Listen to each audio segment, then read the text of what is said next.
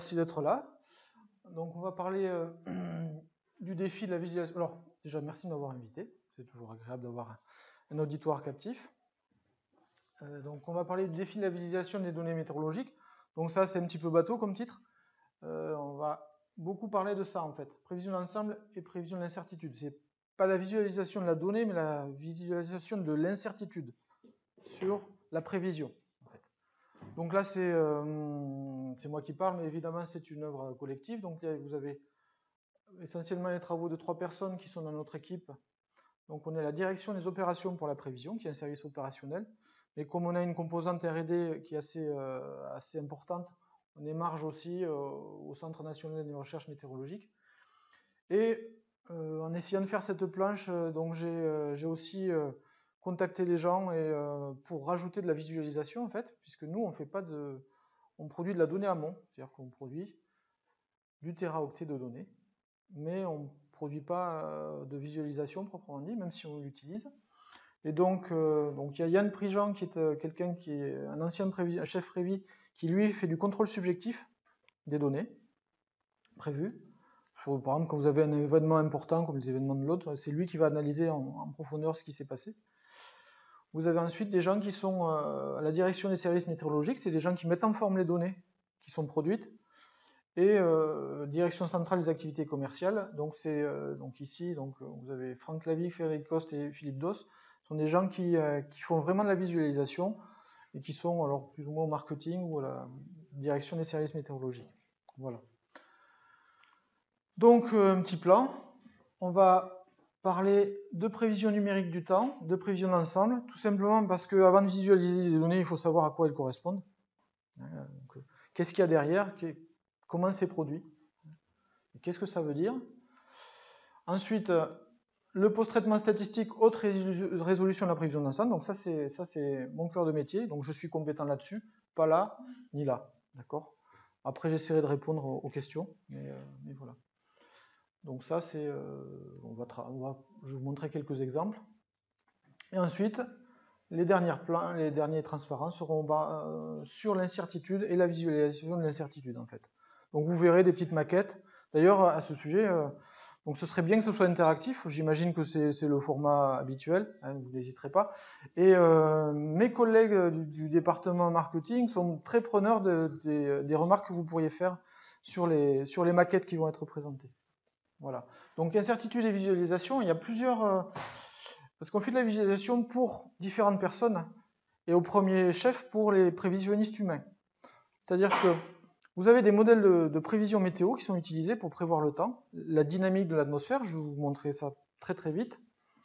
Derrière, pour certains paramètres comme la température, le vent, la nébulosité, des paramètres qui impactent directement les utilisateurs, les usagers, on va faire le post-traitement. Et derrière, pour l'instant, vous avez encore une expertise humaine assez, euh, assez prononcée. Donc, une expertise qui coûte assez cher et qui tend à se réduire, on va dire, mais, ça existe encore. Voilà, donc ça c'est visualisation pour les prévisionnistes humains. Comment est-ce qu'ils exploitent ces données? Pour le grand public, c'est pas du tout la même chose en fait. Et pour les usagers professionnels, puisque vous avez des gens en fait qui sont destinataires de, bulletins spécialisés, euh, qui font de l'agriculture, de l'énergie, etc donc, à chacun, en fait, il y a euh, une visualisation hein, plus ou moins adaptée. Voilà, donc on va commencer par la prévision numérique du temps. Alors, est-ce que vous savez ce que, comment ça marche la prévision numérique du temps? Alors, c'est un problème statistique, physique? Est-ce qu'on peut faire ça avec euh, de l'apprentissage profond, des choses comme ça? Voilà, donc là, je vous donne la solution, en fait. Vous, savez comment on fait un avion hein euh, on, modélise les écoulements autour d'une aile, etc. Avec de la mécanique des fluides.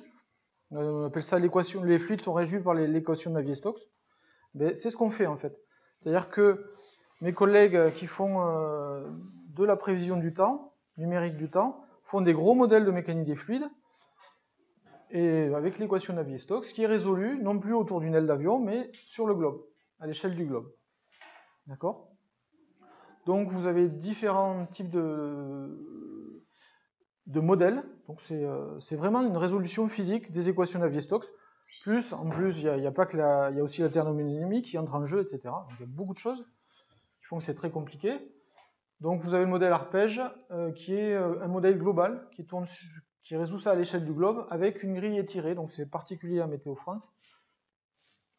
Donc qui est stretché, comme on dit, qui est plus fine sur, la, notre zone d'intérêt et plus lâche aux, antipodes. Voilà, donc entre 5 et 25 km aux antipodes. Et on a également le modèle arôme, donc qui est un modèle qui est beaucoup plus précis, en particulier qui, fait une convection explicite, c'est-à-dire qui va résoudre les nuages convectifs explicitement, alors que dans l'autre, c'est plus des, paramétrisations physiques, on ne calcule pas vraiment l'évolution du nuage en fait, hein. on essaie de la deviner, avec une aire limitée et une résolution qui, à l'heure actuelle, est de 1,3 km. Et il prend ses conditions limites avec arpège. C'est arpège qui l'initialise et ensuite on résout, on fait un jeu de poupée russe en fait, et on résout plus précisément euh, sur l'Europe de l'Ouest. Voilà. Donc ça, un petit film.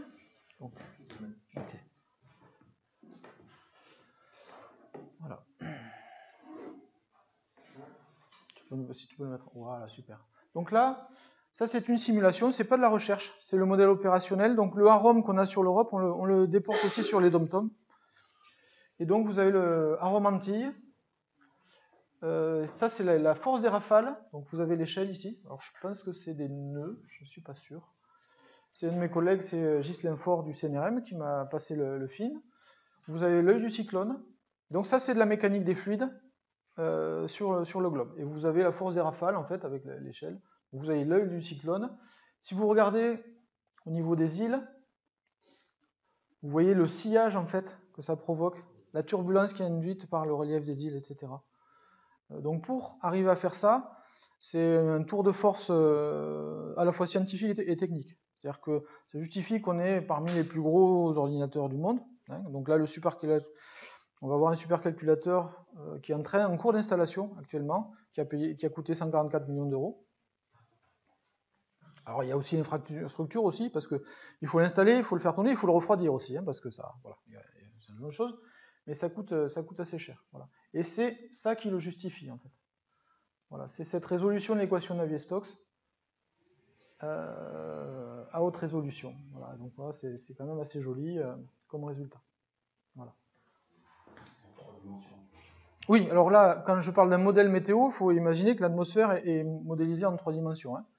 Donc c'est un fluide mince sur une sphère en rotation avec des conditions limites qui sont imposées par le relief, etc. Et donc, comment ça marche? Vous avez, euh, on peut changer, le suivant.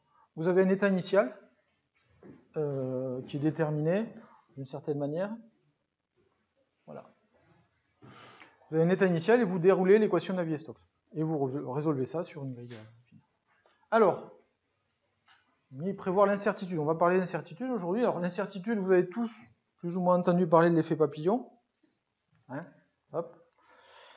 Pourquoi? Parce que dans l'équation Navier-Stokes, c'est des termes croisés entre les différentes variables qui font que c'est de la physique non linéaire, donc chaotique. Ça veut dire quoi Chaotique, c'est qu'une petite perturbation des conditions initiales va donner des différences de solutions qui vont s'amplifier au cours du temps. D'accord? Alors vous avez à un moment ou à un autre fait l'équation de la bille sur le plan incliné, vous la lâchez une seconde plus tard, elle arrive une seconde plus tard, grosso modo. Avec la, dynamique chaotique, non. Elle va, elle va faire autre chose. Voilà. Et donc, on va, parler de, on va introduire le concept de prévision d'ensemble, qui est le moyen qu'ont les physiciens d'essayer de prévoir l'incertitude en exploitant l'effet papillon. D'accord? Donc, le principe est relativement simple. C'est au lieu de lancer le modèle une fois et regarder sa solution au cours du temps, vous allez le lancer plusieurs fois en perturbant l'état initial et ainsi que certains paramètres de la physique du modèle. Les petits coefficients, on va les perturber un petit peu euh, perturbe l'état initial et au cours du temps, les solutions vont diverger. Et vous n'aurez plus la même chose en fait. Donc là, euh, ça va m'échapper, mais donc je vous donne le jargon. Euh, qu'on appelle un run, c'est une solution. Ou j'appelle ça un membre en fait. Un membre, c'est une solution du, modèle. Et on a nos, modèles physiques. Donc on a arpège à grande échelle, le modèle à plus petite échelle, fine échelle, le PS, euh, voilà. Donc ça, ces deux modèles-là, on les décline en prévision d'ensemble. D'accord? Et c'est ce qui justifie d'ailleurs que euh, ça coûte très cher. C'est que là, le modèle ne tourne plus qu'une seule, ne tourne plus une fois, il va tourner 35 fois pour la prévision d'ensemble, et 16 fois pour la prévision d'ensemble euh, arpège, et 16 fois pour la prévision d'ensemble arôme. Oui Ça reste des modèles déterministes. Oui. Alors, ça dépend de ce qu'on appelle stochastique. Euh, dans les prochaines versions, les, perturbations du modèle vont être perturbées stochastiquement au départ. oui. Après, ça, déroule. Après, comme je vous dis, je suis hors de ma zone de confort, c'est pas mon, c'est pas trop mon rayon, mais effectivement, c'est a priori c'est ça. Donc vous perturbez et vous avez plusieurs solutions. Et donc l'idée qu'il y a derrière, c'est que en analysant la dispersion des solutions, on va avoir une idée de la prévisibilité de la situation. C'est-à-dire que euh, vous avez euh, certaines journées d'été, vous avez un gros anticyclone sur la France. Franchement, on peut prévoir le temps sans trop de risque de se tromper jusqu'à 10 jours, des choses comme ça. Actuellement, on a une situation qui est assez dynamique avec des passages de perturbation, etc. C'est beaucoup plus compliqué de, prévoir le temps à plusieurs jours d'échéance. Voilà. Donc là, je vais vous montrer une. Euh, ça, c'est exploité, c'est pas du tout public, ça c'est exploité par les prévisionnistes en fait, pour avoir une idée de la, situation. Donc ça, j'ai pris, euh, c'est le, centre européen. Donc le centre européen produit aussi des, prévisions météo.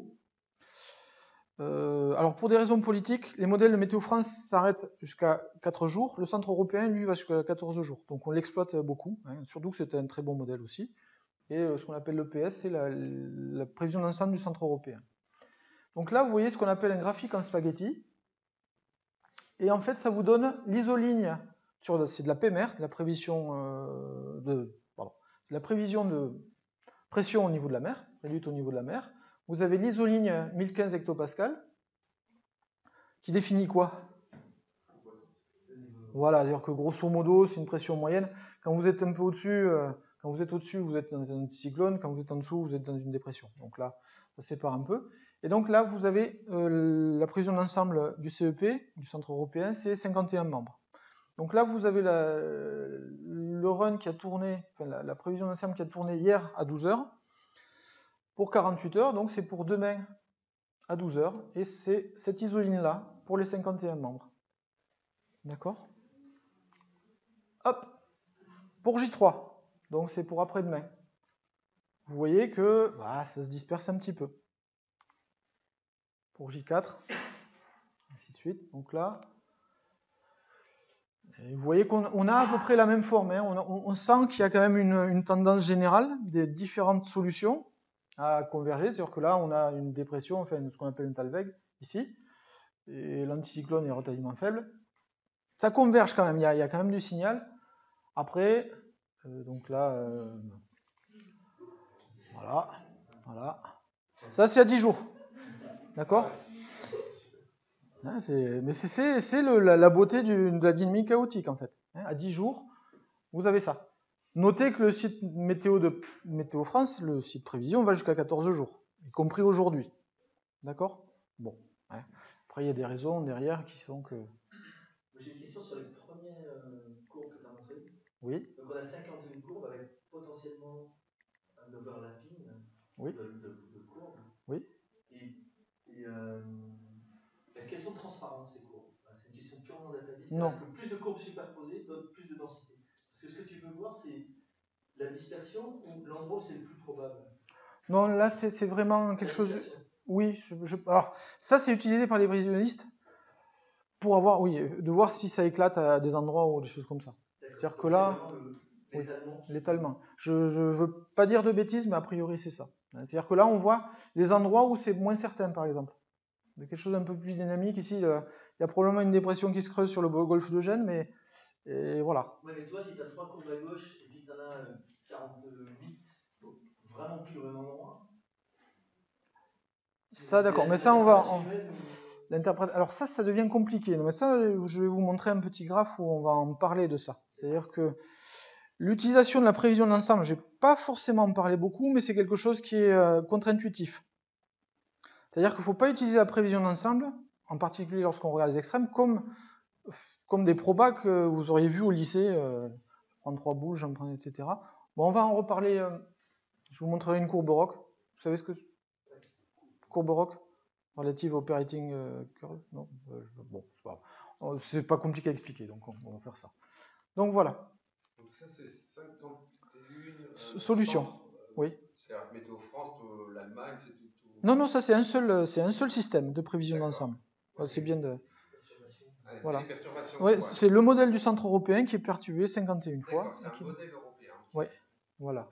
Oui, d'accord, excusez-moi. Parce qu'en fait, il y a un centre européen qui est à Reading, l'heure actuelle, euh, puisque ce qui a été créé, euh, je ne veux pas dire de bêtises, mais avant la construction de l'Union européenne, la météo, c'est quelque chose de global. Donc tous les pays collaborent, en fait.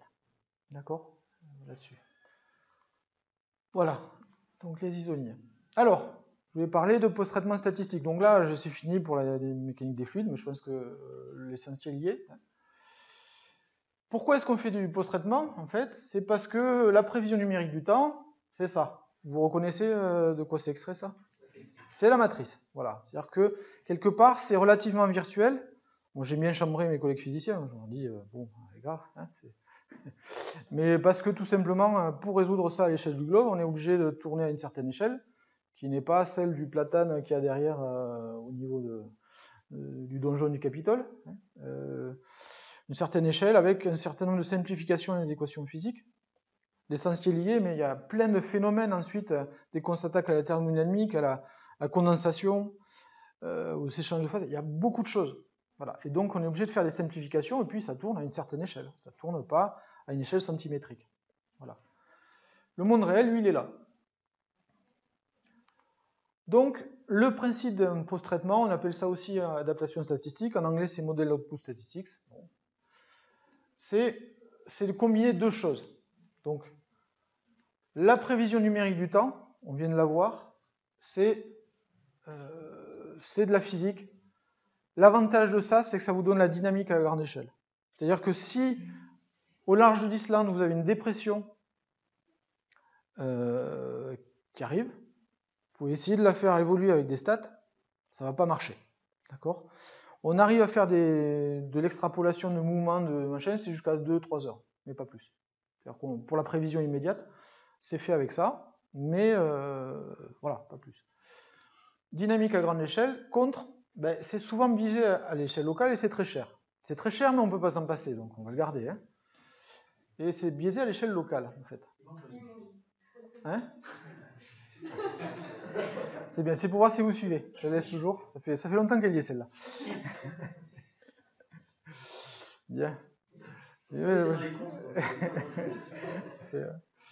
Voilà. Alors la statistique, alors j'ai un peu barré parce que ça fait un peu, euh, ça fait un peu couillon hein, de parler de statistiques. On va dire qu'il y a, hein, sinon euh, voilà. hein. Mais euh, pour, c'est des sorties qui sont sans biais. Si vous débrouillez bien, vous éliminez le biais hein, quand vous faites de, de la stat. Et comparativement, c'est pas cher. Par contre, il n'y a pas de dynamique. Donc, le post-traitement statistique, ça va être tout simplement de combiner les avantages des deux et pas les inconvénients, sinon ça sera machin. Voilà. Donc, qu'est-ce qu'on va faire? On a des observations, des observations in situ, par exemple, et on a les prévisions correspondantes. Donc, ce qu'on va faire, c'est qu'on va faire un modèle, on va faire de l'apprentissage, stat, on va faire un modèle de régression ou de discrimination ou ce que vous voulez, entre ce qu'on a réellement observé et les prédicteurs euh, issus de la PNT à l'échelle correspondante. Ce que je ne vous ai pas dit, c'est que le modèle, lui, il vous sort la température, la pression, euh, l'humidité, euh, tout ce que vous voulez. Il y a à peu près une centaine de variables qui sortent. Donc on va modéliser ces relations entre des observations et des prédicteurs à l'échéance correspondante de l'observation. Et l'hypothèse qu'on fait, c'est que la prévision numérique du temps contient les prédicteurs de sa propre erreur en grande partie. Après, il y a un plafond incompressible euh, là-dessus. Alors, l'exemple qu'on peut donner, puisqu'on est à Toulouse, euh, si on prend le modèle arpège quand il y a du vent d'autant, eh c'est un modèle qui va être trop chaud, à peu près euh, 2 degrés. Pourquoi? Parce que vent d'autant, c'est quoi? C'est un vent qui revient de la Méditerranée, d'accord? Donc, vous avez une advection d'air plutôt chaud, plutôt humide, qui remonte. Donc, ça, le modèle le représente bien. Mais c'est un modèle qui a une maille 5 km, avec. euh, mais c'est un vent qui est fort et turbulent. Donc ce qui se passe, c'est que la turbulence va entraîner une homogénéisation un petit peu de la masse d'air dans les bâches couches. C'est-à-dire qu'on va reprendre de l'air un peu plus froid euh, en, altitude, à 1000 mètres d'altitude, on va le mélanger un petit peu. Et donc, ça va limiter ce, réchauffement. Et, euh, et voilà, donc lui, arpège, il est un point tous les 5 km avec une résolution verticale. Il n'est pas armé pour faire de la turbulence à fine échelle. Donc il a du mal à représenter ça.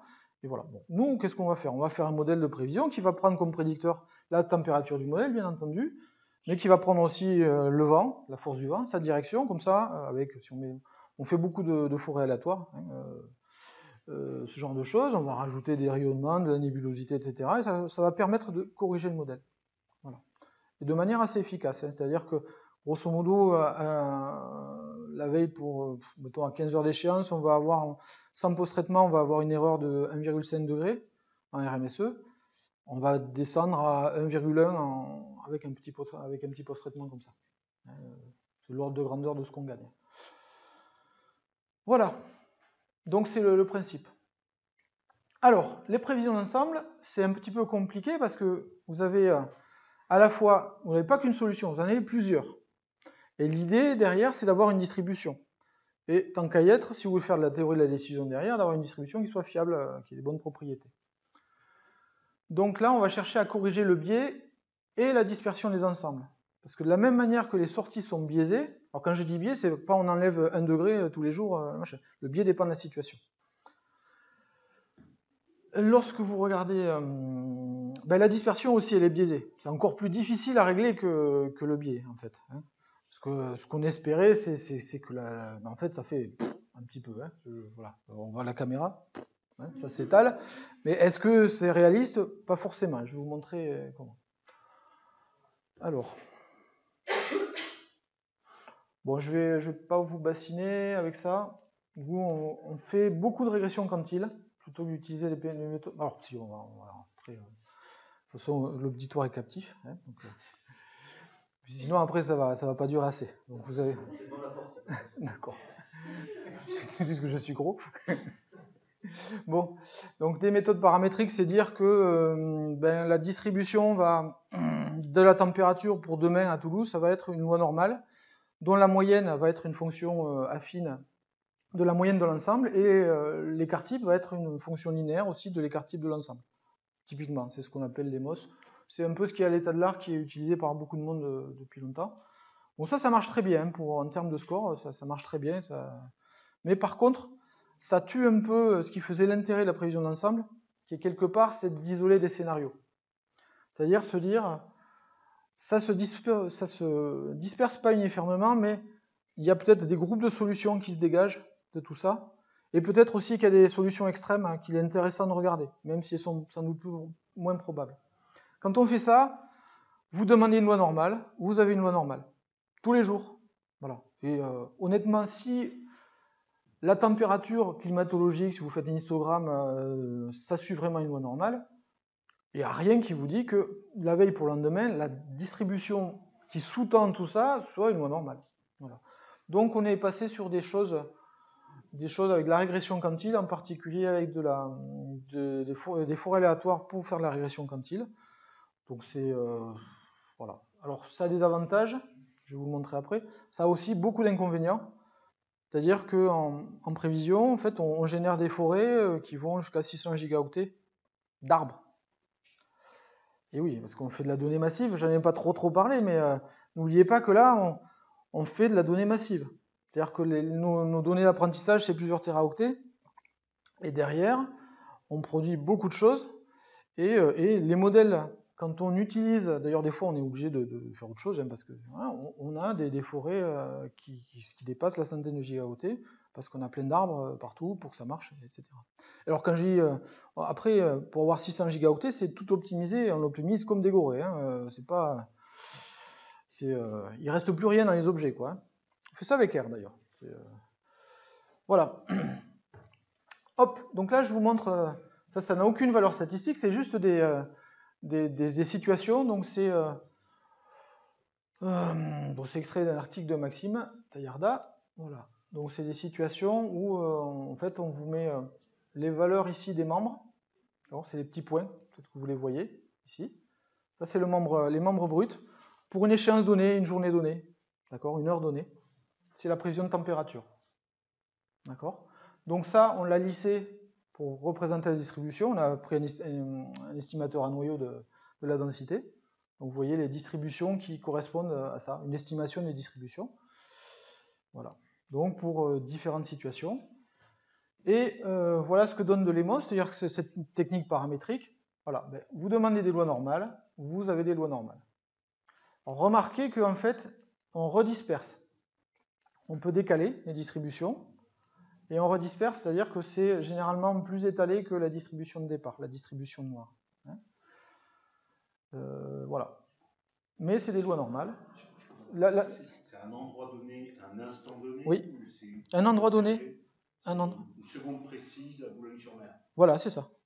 Une prévision, alors une heure précise, hein, parce que on- voilà, on fait des prévisions toutes les heures. Non, non, mais c'est bien. Là, la ligne verte, c'est l'observation qu- qu'on a. Donc, on l'a a posteriori, mais on a mis l'observation. Alors là, comme je vous ai dit, on s'arrange pour ces, ça n'a aucune valeur statistique, euh, c'est juste des cas. Et là, c'était juste pour montrer l'intérêt de faire des, des forêts aléatoires par régression quantile. Là, c'est que ça, c'est la distribution qu'on estime, la distribution prévue en utilisant ça. Donc on voit que par exemple ici il y a une bimodalité, eh on conserve la, bi- la bimodalité, on la translate et on... Voilà. Ici, en fait c'est intéressant, c'est que c'est une situation par ciel clair, sol enneigé où les, stats, les- la, la physique marche pas très bien encore. Eh bien on a gardé des solutions vers là. C'est-à-dire qu'on a étalé la, distribution, la distribution de départ elle est là, c'est le petit bonnet d'âne là en noir. Voilà. En noir, c'est la sortie des modèles, et ça, c'est euh, quelque chose qui vous dit attention, euh, on peut aller euh, plus bas. D'accord? Voilà, donc. Ça marche un peu mieux quand les autres se quand les autres modèles. Excusez-moi, il y, a, il y a encore une probabilité non nulle. alors que les autres Oui. voilà. Après, voilà, je vous montre, euh, c'est un cas où ça marchait bien. D'accord? Voilà, après, euh, après c'est des choses qui marchent très bien. Donc, euh, la qualité, le score classique lorsqu'on évalue la qualité de distribution, c'est le CRPS. C'est ça. Vous en avez entendu parler déjà ou non? Bon, grosso modo, vous allez comparer. Ça, c'est la fonction de répartition prévue. D'accord? Vous avez la fonction de répartition observée qui est juste une heaviside, c'est-à-dire que vous avez votre ops, ça passe de 0 à 1. Le CRPS, c'est juste l'air entre les deux. D'accord? Voilà. Donc si vous aviez euh, une prévision déterministe, si vous ne faisiez qu'une prévision, en fait, ce serait l'erreur absolue moyenne. Voilà. Donc vous voyez ce que ça donne. Donc ça, c'est sur euh, 2000 stations en fonction de l'échéance. Pour le modèle PARP, ça c'est le modèle. Alors il y a, le modèle PARP lancé- était lancé deux fois par jour. C'est pour ça que vous avez deux courbes. Mais vous voyez en fait l'amélioration que vous avez, c'est-à-dire que là vous êtes à 1,5 à peu près, 1,4 en CRPS, et vous tombez à 0,8. Et puis vous passez à, lorsque vous êtes à 1 ici, vous êtes encore à 1,4. D'accord? Donc ça permet de, de débiaiser, d'améliorer fortement les, prévisions. Donc ça c'est un score qui est un petit peu abstrait. Je vais vous parler d'un autre score. Après on va faire, c'est déjà la visualisation, remarquez, hein, quelque part. Donc là on va faire un histogramme des rangs. C'est-à-dire vous avez des solutions, d'accord? Mettons que là j'ai euh, un ensemble à 5 membres. Donc j'ai 5 solutions. Pour évaluer une autre manière d'évaluer la qualité de mon modèle, c'est de regarder où tombe l'observation par rapport à ses membres. D'accord? Donc un jour donné, elle va tomber là. Je vais dire, ah tiens, elle est tombée une fois ici entre ces deux membres. Elle va tomber là, elle va tomber là, puis elle va tomber là, ainsi de suite. Si votre ensemble est correctement dispersé, vous devez avoir un histogramme des rangs qui va être uniforme. Donc ça, c'est mesuré sur une longue période. D'accord? Si, euh, si votre histogramme des rangs euh, tombe, euh, si votre ensemble est biaisé, en fait, vos données vont tomber à côté, plutôt d'un côté que de l'autre. D'accord? S'il est sous-dispersif, ils ont tendance à avoir tombé des deux côtés. D'accord? Donc ça, c'est ce que donne la PR brute. Voilà, c'est pour la station d'Orly. D'accord? Voilà, donc vous voyez que c'est biaisé, c'est-à-dire que ça tombe plus souvent de ce côté que, dans l'ensemble. Et vous voyez que malgré tout, ça tombe aussi hors de l'ensemble de l'autre côté, malgré le biais. Donc ça veut dire qu'on a un ensemble qui en moyenne est biaisé et pas assez dispersé. Et lorsque vous utilisez ces techniques de calibration, ben, vous avez quelque chose qui est... euh, vous retrouvez la platitude histogramme des rangs, c'est-à-dire que vos observations tombent dans l'ensemble. D'accord? Voilà, donc là, je, ben, on va je regarder des cartes. Voilà. Donc ça, c'est euh, un, un travail qui est fait, donc qui est opérationnel à l'heure actuellement, à l'heure actuelle, qui a été fait par Maxime Taillarda et moi aussi euh, pour la partie euh, spatialisation. Donc c'est quelque chose qui est fait sur demi-station en Europe de l'Ouest, ponctuel. Sachant que pour les besoins de la production à l'heure actuelle, on, va de plus en plus avoir des web services où on fait des requêtes à latitude, longitude, tac, on vous sort la, prévision. Donc pour ça, pour les besoins de la production, on va produire sur une grille kilométrique 4 millions de points. D'accord Et on va chercher à estimer les marginales, c'est-à-dire la, distribution de la température. Mais il y a aussi un autre problème qui est également celui des probabilités conjointes. Grosso modo, si je vous donne la probabilité qu'il y ait de la pluie, enfin la distribution de pluie pour demain et la distribution des températures, est-ce que vous pouvez me donner la probabilité d'avoir de la neige à, Toulouse Hmm, Voilà. Mais non, sinon non. Donc en fait, il faut qu'il y ait à la fois de la, pluie et de la température euh, proche de 0 degré. D'accord? Donc, euh, donc on- aussi, euh, il faut reconstituer les membres. Alors là, je ne vais peut-être pas vous embêter trop avec ça. Donc le, le post-traitement, donc ça c'est de la PR brute. Donc c'est le modèle global, en fait, euh, donc un extrait sur, sur la- sur l'Europe de l'Ouest, euh, avec sa maille de production qui est de l'ordre de 10 km. Donc comprenez bien que si vous êtes sur les reliefs, c'est pas. hein, euh, si vous faites une requête. Donc après l'ensemble des, des, des traitements, vous voyez qu'on a modifié les valeurs. C'est-à-dire que si on regarde sur Paris, par exemple, les valeurs ont été modifiées, ça s'est réchauffé, ici aussi, par exemple. Mais on a aussi euh, regagné une. on a fait de la spatialisation derrière, donc on est passé à une maille kilométrique. Voilà. Oui? Ces graphiques, les gens les utilisent pour comparer. la- la- Non, ça c'est ça c'est ça, juste, pour oui ça c'est oui c'est pour faire des, des planches. La la question qui était derrière, c'est que tu fais pas des cartes des différences. Pour voir où tu as gagné, où tu as perdu. Non parce que que- comme c'est pas la même résolution ça. hum, Ah oui. c'est bon. Mais alors justement, parce que là en fait c'est voilà. Alors je vous montre juste qu'on reconstitue. Là vous avez un membre, donc c'est euh, pour, euh, je crois que c'était en mars dernier. Euh, vous avez un membre pris au hasard. Donc vous avez le- la position ici. Vous avez un front. Vous avez un fort gradient en température qui est caractéristique du passage d'un front météorologique. Et vous voyez que sur une autre solution, le membre, le front y est, mais il est beaucoup plus rentré sur la Normandie, sur la Bretagne. hein, voilà. Et on l'a gardé. On a gardé cette structure-là après calibration. Bonjour. Mais c'est pas grave. Mieux vaut tard que jamais. Exactement. Voilà. Donc là, je vous le montre. euh, Hop. Oui. Ces, ces palettes de couleurs, c'est ce qu'on appelle les palettes de couleurs arc-en-ciel. Oui. En fait, on passe de, du bleu au Oui. rouge en passant par tout le truc. La, la théorie de la Nathalie, c'est que ces palettes arc-en-ciel sont très décriées parce qu'en fait, elles font voir des choses qui n'existent pas ou des artefacts un peu bizarres et qu'on on conseille plutôt d'avoir des choses de teinte uniforme qui deviennent de plus en plus sombres. C'est vrai. Est-ce que c'est quelque chose qui est, est pris en compte, qui est connu, qui est...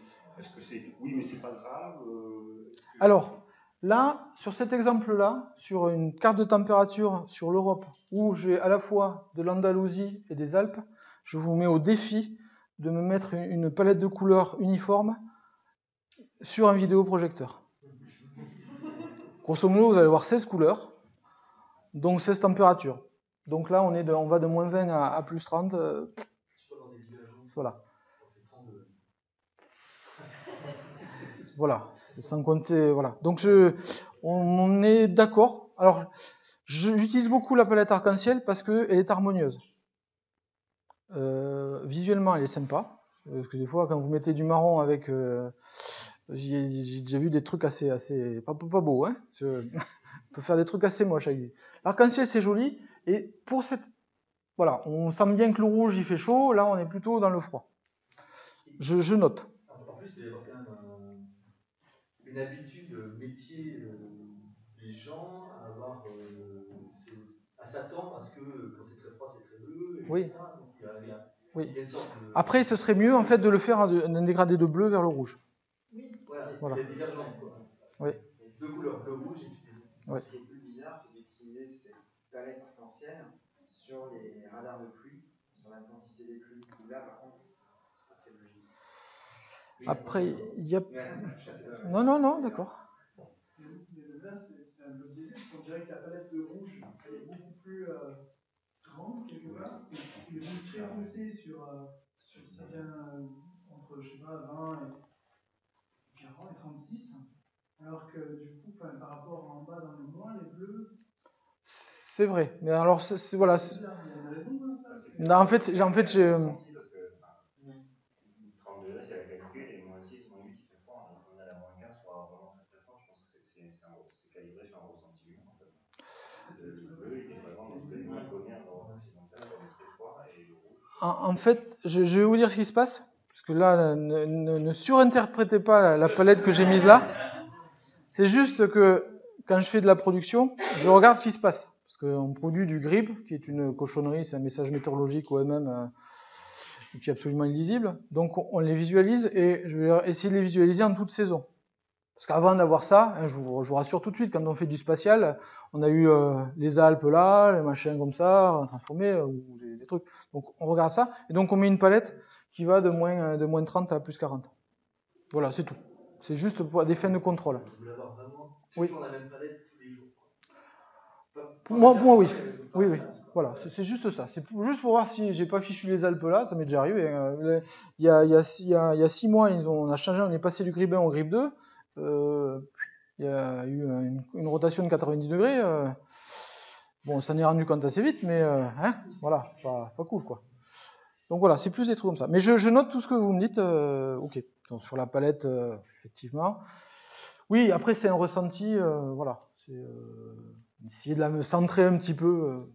Et le, fait d'avoir du vert des choses comme ça, c'est pour avoir plus de, de teintes en fait intermédiaires. Voilà. Mais merci pour, pour ces. Donc là, je vous montre la même chose, mais à haute résolution. Donc, puisque vous faites de la visualisation, il y a une chose dont j'ai horreur, c'est des isolignes. Parce qu'on perd la notion de, euh, de résolution. Voilà. J'ai déjà vu des gens, à l'époque où on faisait de la prévision, de, saisonnière, le modèle de prévision saisonnière avait 9 points de grille sur la France.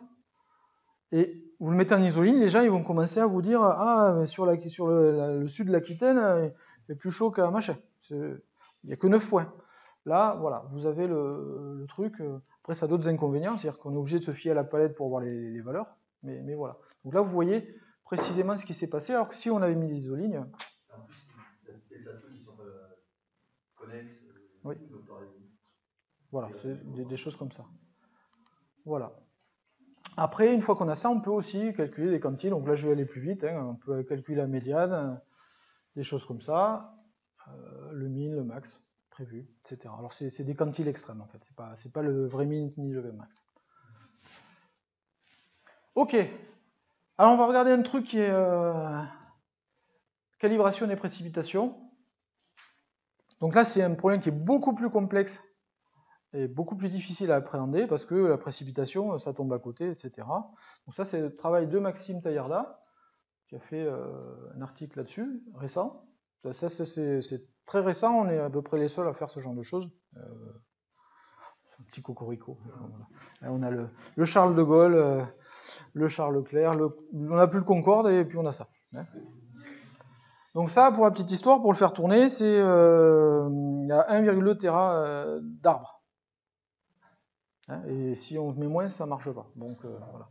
Donc là, je vous montre, ça, c'est les, résultats qu'il a eu sur de la, hum, prévision d'ensemble de, de précipitations arpèges. C'est écrit dans cet article-là. Et c'est une courbe ROC. Vous voyez, donc courbe ROC, c'est quoi? C'est on va faire le taux de détection d'un événement. Donc là, l'événement, c'est euh, la précipitation en 6 heures est supérieure à 15 mm. Donc c'est déjà pas mal. hein, c'est une bonne, pluie. Et euh, donc le taux en fonction du taux de fausse alerte. D'accord? Et en fait, vous avez plusieurs points sur chaque courbe. Alors, vous avez plusieurs courbes parce que, en fait, là, vous avez l'ensemble brut qui est par là, je crois. Bon, là, il n'y a pas de transparence, donc du coup, on ne le voit pas, mais il est par là. Après, différentes méthodes avec des analogues, des choses comme ça. Et, et les trucs qu'on emploie. Donc, ça, c'est la régression quantile avec extension de queue. Si vous savez ce que c'est qu'un arbre de régression ou une forêt aléatoire, donc grosso modo, pour, les autres, mais grosso modo, ce qu'on fait, c'est qu'on va dans les feuilles, et dans les feuilles, on refit une loi d'extrême. C'est-à-dire que ça devient semi-paramétrique. On a l'arbre qui se déroule, les données qui sont isolées dans différentes feuilles, et vous avez une GPD, c'est une loi, une d'extrême, en fait, qui permet de sortir en fait de la distribution qui aurait été prévue par les arbres. Voilà. Donc là, vous avez ça. Pourquoi je vous montre ça? C'est parce que vous avez plusieurs points, ça se voit assez peu. C'est-à-dire que vous avez plusieurs points sur la courbe. C'est en fonction du nombre de membres, euh, du nombre de membres qui dépassent le seuil. C'est-à-dire que si vous attendez que tous les membres dépassent le seuil pour déclarer que vous dépassez le seuil 15 mm, eh bien, vous avez pratiquement pas de fausses alertes, mais vous avez pratiquement pas de détection. Voilà. Et puis ça augmente petit à petit. Alors la courbe, elle n'est pas très droite, jusqu'à ce point-là. Et ce point-là, en fait, la forme de cette courbe vous dit que, alors là, si, tout, si, si aucun point ne... Bon, bref, voilà. Et ça, ça vous dit tout simplement qu'il suffit qu'il y ait un membre pour vous inciter à prévoir, euh, à prévoir l'événement. Donc, on est d'accord, le mieux, l'idéal, c'est d'être avec une détection de 1 et une fausse alerte de 0, c'est-à-dire être le plus proche de ce point-là, en fait. Et là, en fait, un membre, deux membres, trois membres, quatre membres, cinq membres, etc. Et là, ce point-là, c'est qu'il y a un seul membre qui a, qui a, permis, euh, qui, détecte. Donc, s'il y en a un seul qui détecte, ben, finalement, c'est là où on optimise en fait notre détection pour ce seuil extrême. Et alors ça, c'est complètement contre-intuitif. D'ailleurs, même les prévis ont du mal à le, à le... parce que vous vous dites, ben, on va attendre que 50% des membres nous disent euh, qu'on dépasse ce seuil-là pour, faire la prévision. Et non, tout simplement, c'est une histoire de taux de base. C'est-à-dire que c'est un événement qui est rare. Et donc, euh, voilà, il faut euh, prévoir un événement rare. il ne faut pas attendre qu'il y ait 50% de chance de l'avoir pour le prévoir. C'est un peu comme euh, si on vous dit demain, je suis à Brest, demain j'ai 50% de chance d'avoir des précipes. D'accord. Maintenant, vous faites votre trek au plein milieu du désert libyen. On vous dit demain, vous avez 50% de chance qu'il pleuve. Je peux vous dire que là, vous les sortez les gamelles. Hein pour équivaler au pluie. D'accord? Voilà. Pourquoi vous ne faites pas ce qu'on appelle nous des décimaux multiples pour euh, ce genre de. Des des, des petits multiples en fait. L'idée c'est, là vous avez à peu près une dizaine, une quinzaine de, de, De courbes, de oui. courbes différentes. Donc en fait vous faites 15 fois le, le même dessin, Oui. plus petit. Et puis pour chaque, chaque, euh, chaque Oui. vous, vous, euh, vous mettez une couleur. Et, et comme ça vous les faites tous les, les 15 comme ça. Vous avez 15 graphiques avec votre. euh, Oui. et du coup, ça permet de bien voir, euh, parce que là, les, entre les rouges, les oranges, et là, je suis incapable de voir quoi Oui. que ce soit. là. Alors après, je sais pas ce qu'ils en font, mais. Alors ça, c'est- Oui, en fait, voilà, c'est ça. Là, c'est une démonstration. C'est on dit, voilà, c'est ça qui est bon. Et c'est ce qu'on fait, hein, ça tombe bien. Voilà, donc euh, c'est ça? Et ça, ça c'est les Américains. D'accord? Ah, bah. Donc on va, on va pas les détailler en fait. Bon, effectivement, il y a. pas. Non, voilà. Il y a, il y a beau trop. Il y a, normalement, moi, j'aime pas mettre plus de trois courbes sur une. euh, Bah oui. Oui, hein, mais, mais là, c'est juste pour les besoins de la démonstration. D'accord? Non, mais c'est une très bonne remarque. Euh. Jusqu'à la prochaine fois, hein, mais évidemment. Par contre, une question. Pourquoi ne pas faire du- euh, justement des lignes euh, avec des points Vous voyez C'est juste une bonne, oui. Oui, là, là. Parce que là, on voit. et que là c'est juste un seul euh, Oui.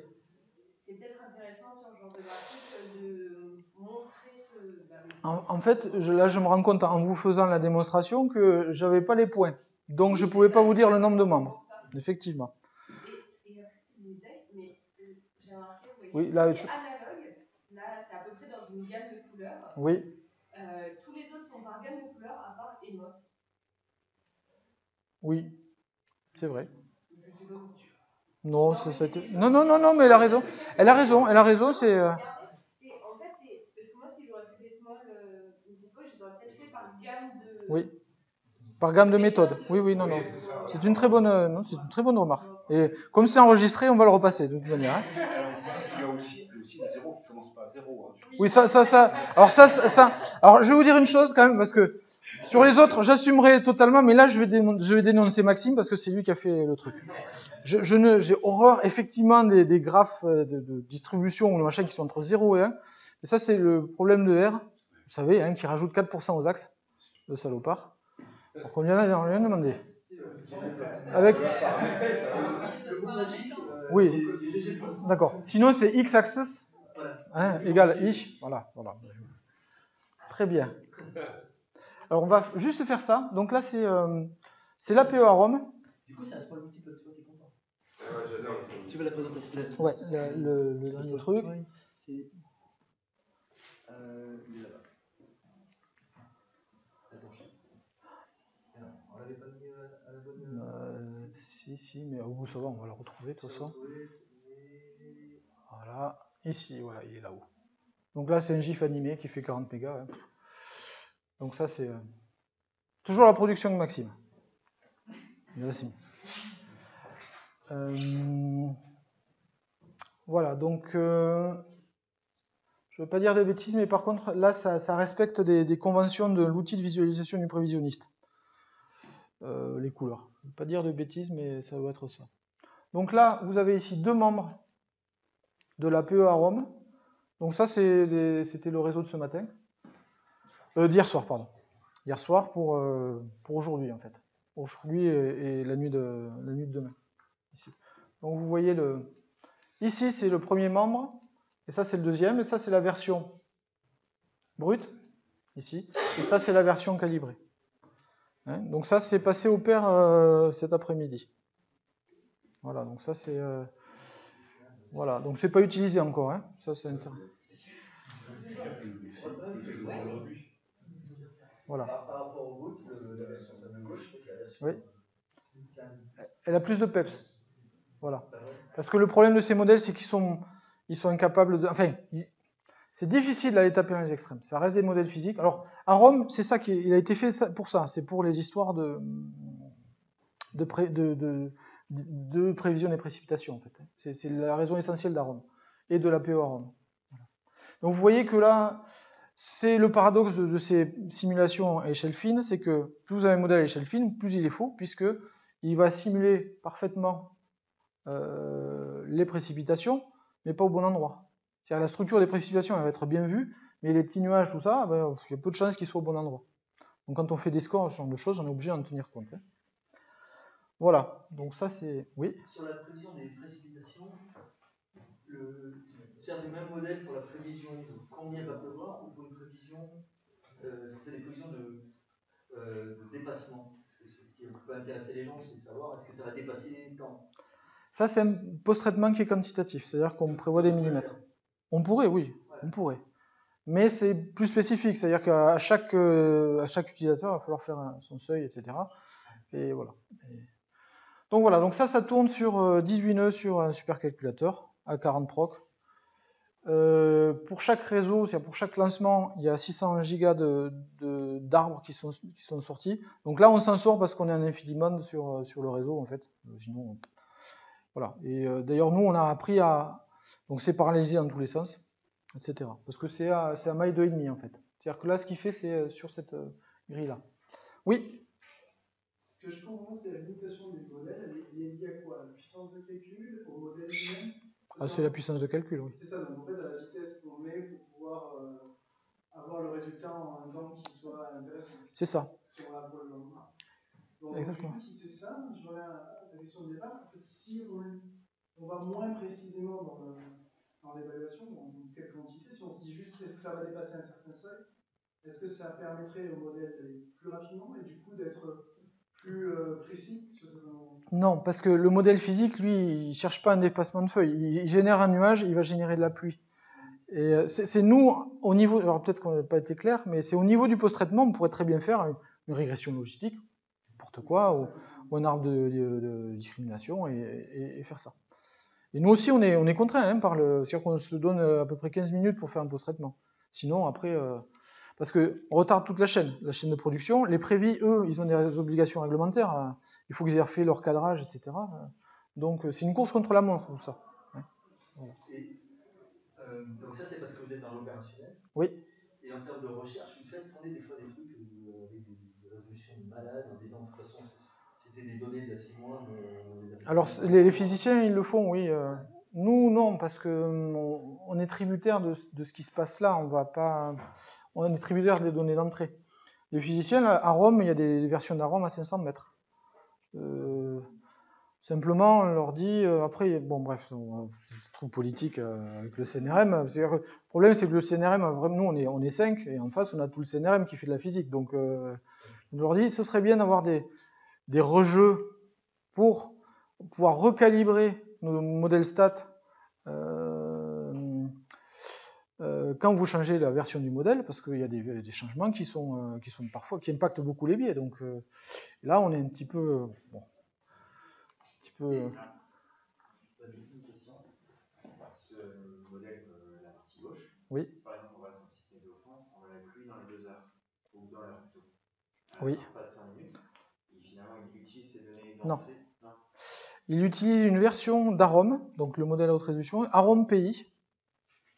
D'accord Donc il lui tourne jusqu'à 3 heures d'échéance, il tourne toutes les heures avec un patent de, de 15 minutes, enfin qui fait des sorties toutes les 15 minutes. Donc ça utilise ça, et en fait c'est un- une sorte de. hum, Je sais plus où ça en est là, mais je crois que c'est passé au père. Je sais pas c'est encore ça qui l'améliore. Il, il y a deux choses en fait, il y a deux systèmes, il y a Arome PI et une simple extrapolation par flot optique de, des données, euh, des, des- puisqu'on a les données radar de précipitation, on les extrapole, leurs mouvements.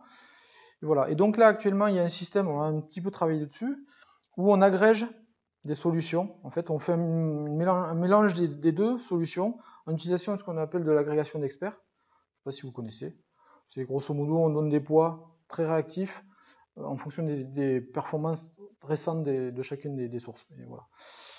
Et à l'heure actuelle, je ne sais pas comment c'est calculé ce qui arrive dans pluie dans l'heure. Je ne sais pas. Si c'est euh, l'un, l'autre ou le mélange des deux.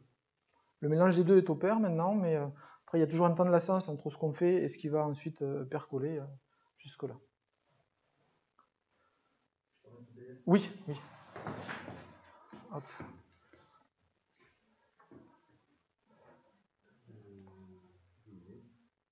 Et au milieu. C'est là? Non. Le plus important. Voilà, merci. Bon.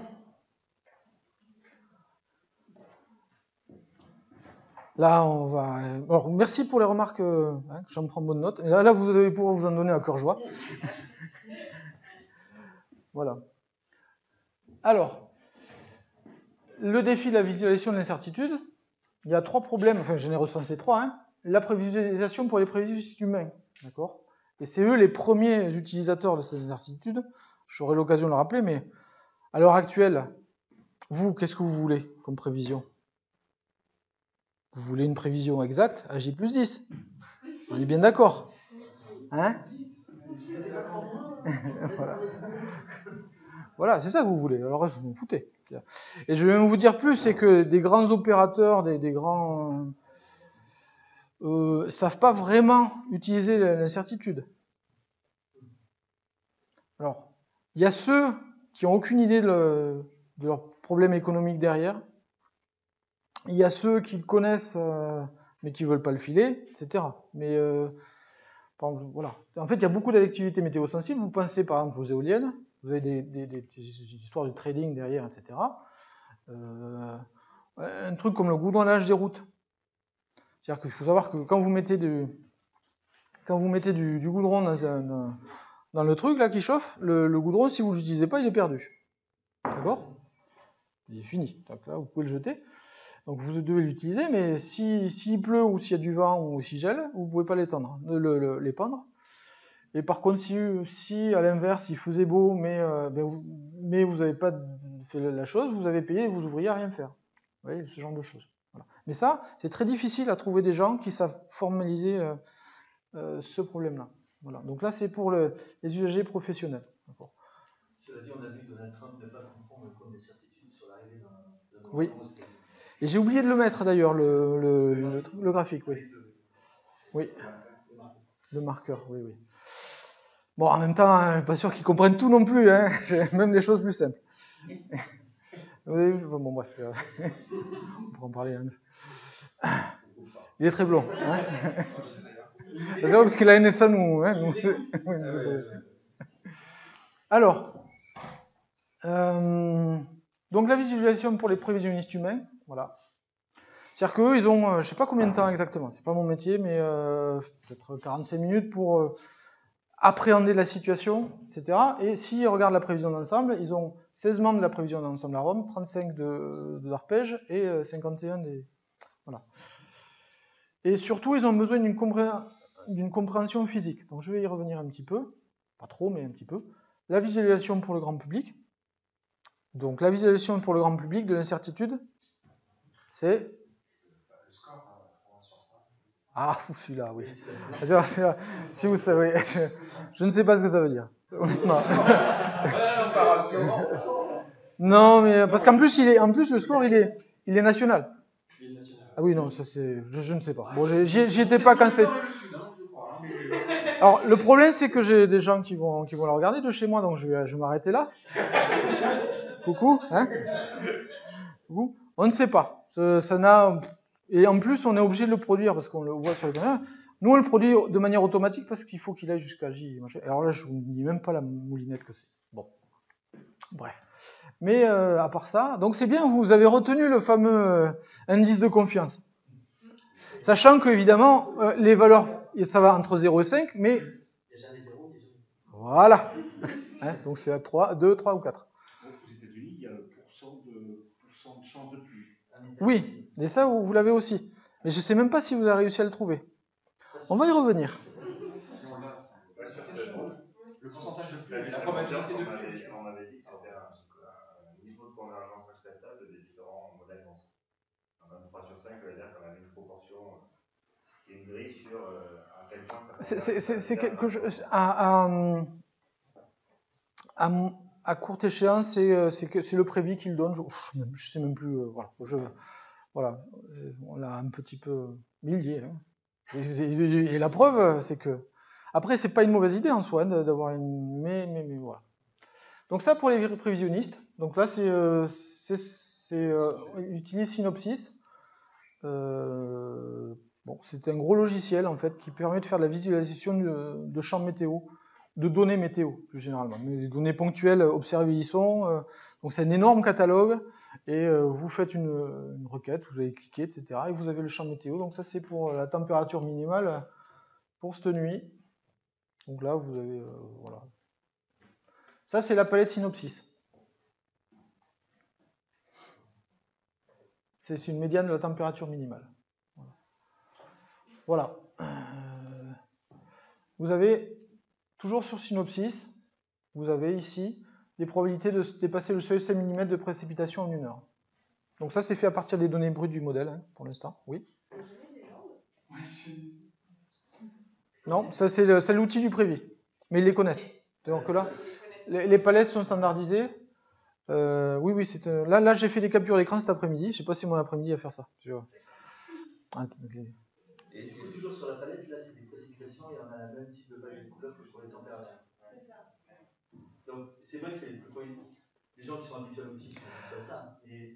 Curieux. Attention, parce que ne ne confondez pas la, la palette. Les cartes de température que vous avez vues, c'était. euh, oui, oui, c'est possible. Oui, c'est possible. Oui, vous avez. oh, D'accord, je n'ai rien dit. et- et là, la projection, c'est quoi? Parce que la France, elle est un peu. Je sais pas. Mais on va regarder. Euh, ça va être une projection. euh, là, c'est ce bon vieux Mercator, on dirait. Ouais, je sais pas trop. Hein. Si, si. Ouais, ouais, c'est bon, bien. juste de l'image. Après, après t'es peut-être pas dans l'axe. Si tu te mets plus vers là.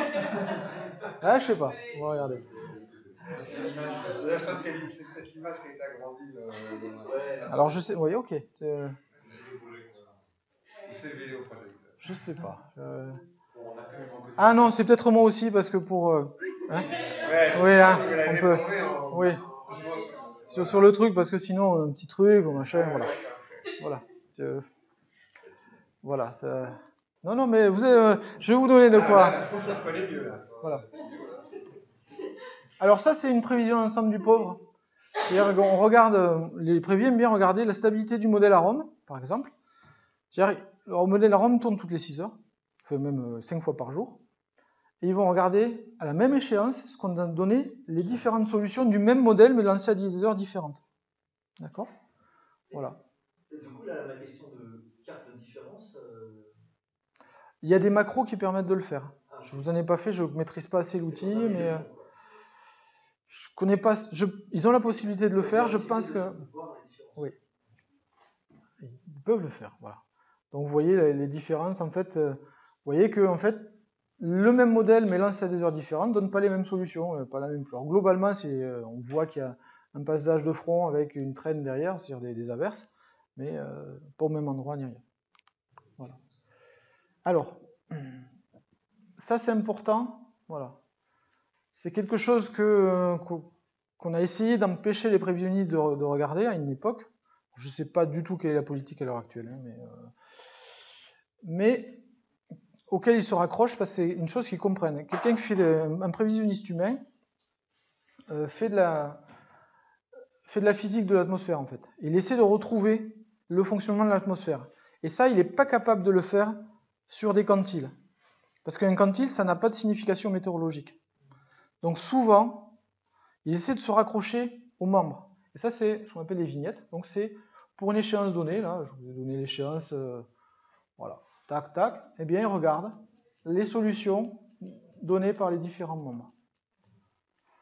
Et euh, alors là, c'est assez bénin, mais imaginez-vous, vous avez un prévisionniste, vous avez un, ce épisode, un Cévenol, vous avez entendu parler de ça, c'est-à-dire grosso modo l'air chaud et humide qui remonte de la Méditerranée, qui vient taper contre les Cévennes ou, euh, les Alpes du Sud. Donc ça initie la convection, vous avez des orages catastrophiques, etc. À une époque, euh, la PORM était tellement dispersée qu'en fait, euh, quand ça arrivait, ça, ben, vous aviez euh, trois membres qui allaient taper sur la Drôme, deux qui allaient sur les Alpes du Sud, etc. Et, et donc du coup, à une époque, ils ne l'utilisaient plus. Parce qu'il y avait une... Voilà. Là, ça revient, voilà.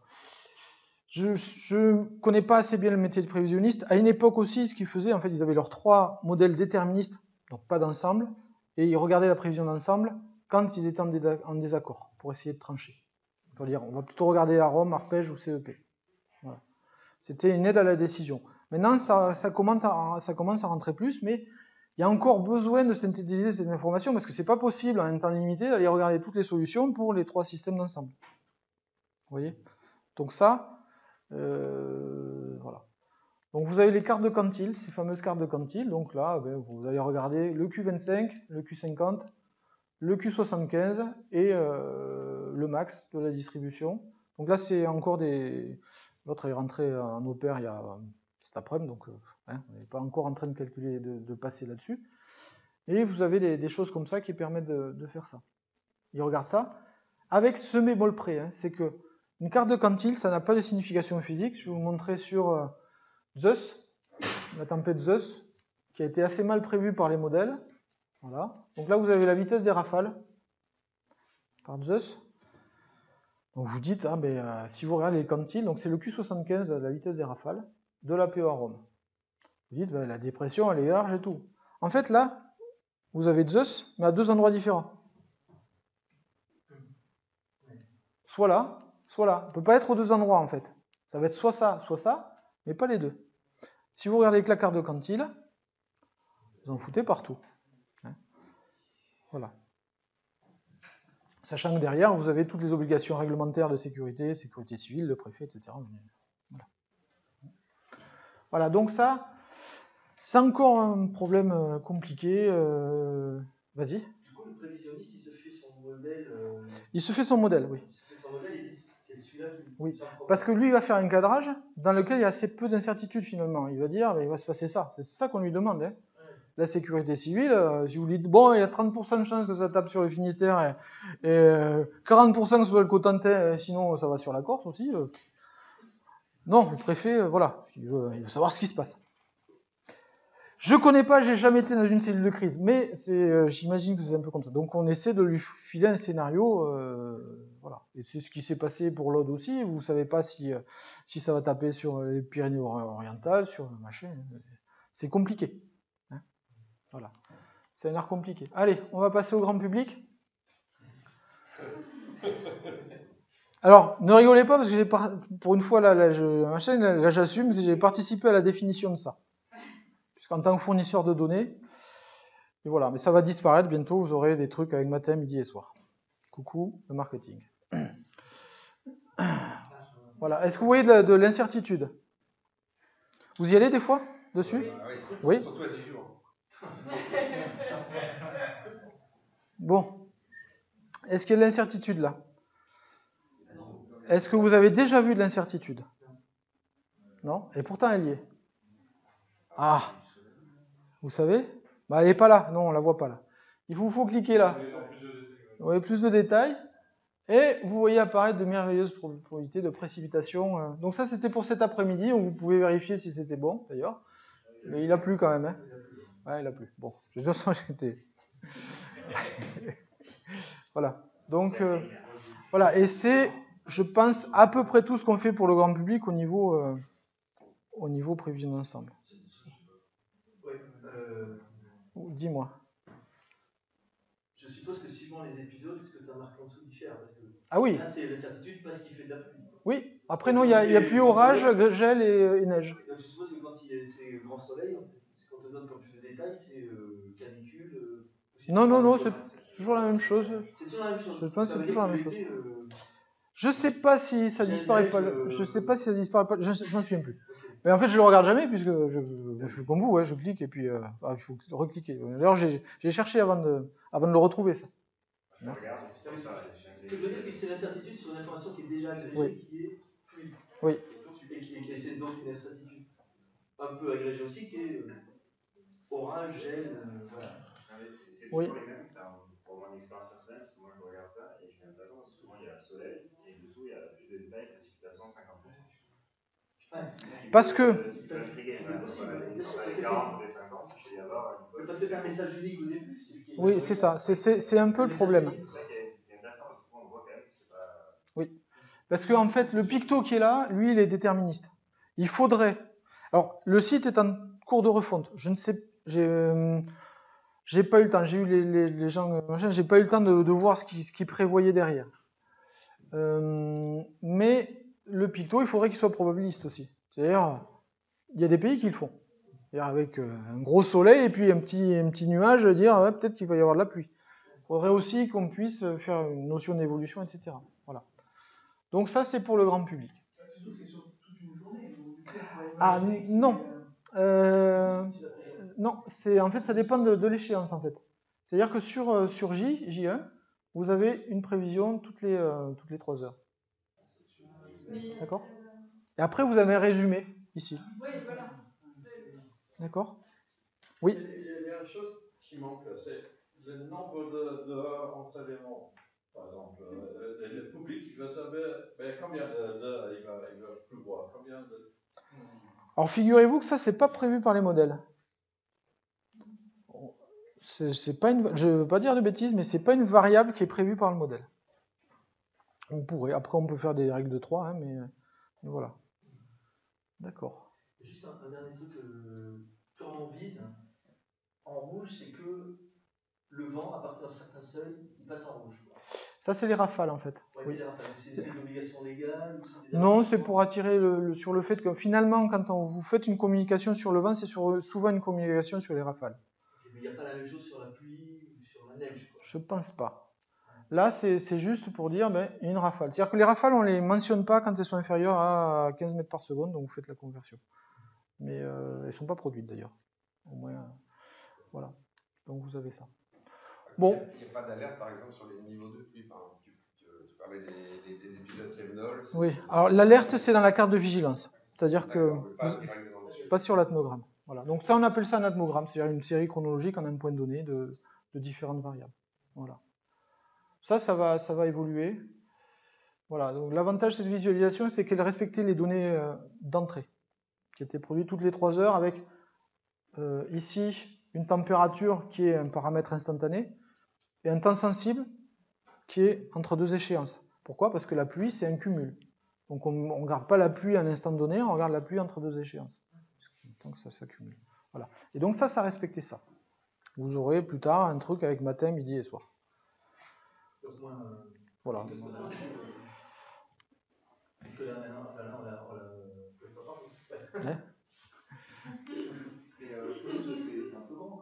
De quoi? Après, après, vous pouvez, vous pouvez euh, en fonction des points de production, ça c'est des choses qui évoluent aussi. C'est-à-dire que là, pour l'instant, on a des, les données qui sont là, euh, elles sont issues d'un composant de données productives. C'est un fichier, un gros fichier ASCII. Pour, pour 38 000 points de production, on produit des données de prévision. Voilà. Donc euh, sur Paris, vous avez plus de points de production, etc. Mais sur Toulouse, vous avez euh, sur Blagnac, etc. Mais après, est-ce qu'on peut différencier les tellement sur le temps sensible et tout? Voilà, c'est plus compliqué.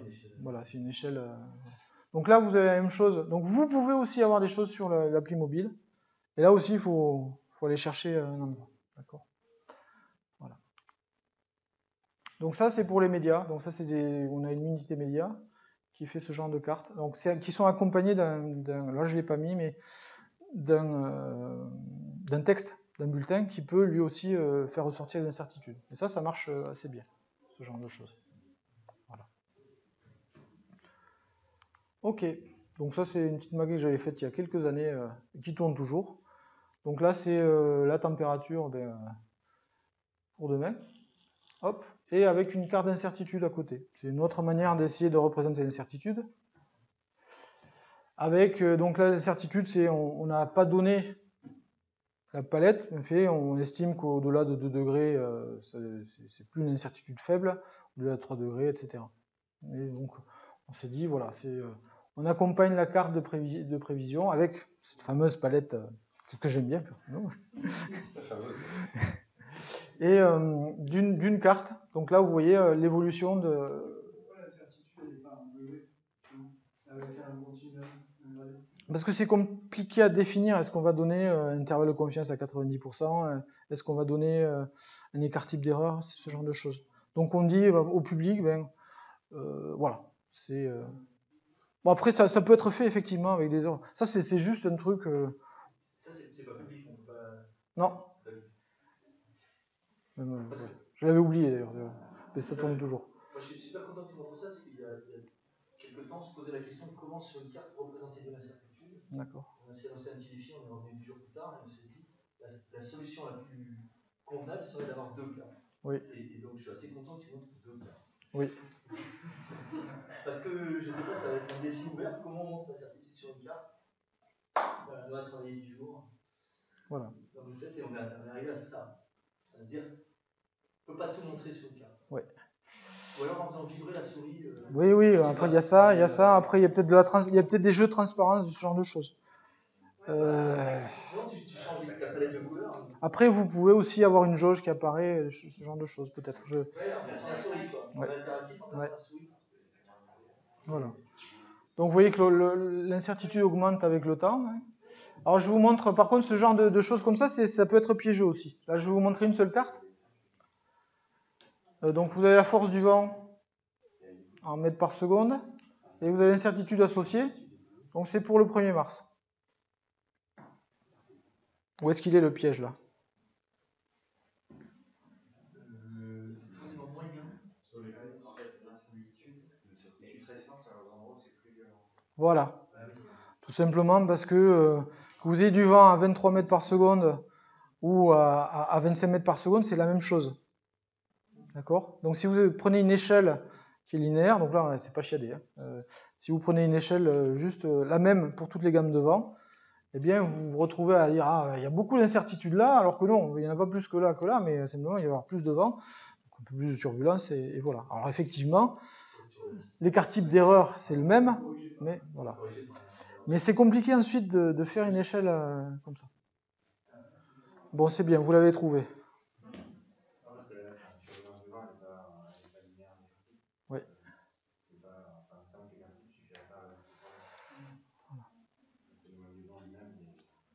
Bon, je suis désolé, du coup j'ai un peu dépassé, mais alors que le, le plus intéressant pour vous arrive. Voilà. Donc ça, c'est les atmogrammes. Donc euh, là, c'est Frédéric Coste qui fait euh, ça, mon collègue de, la division D2C. Euh, je crois que c'est lui, oui.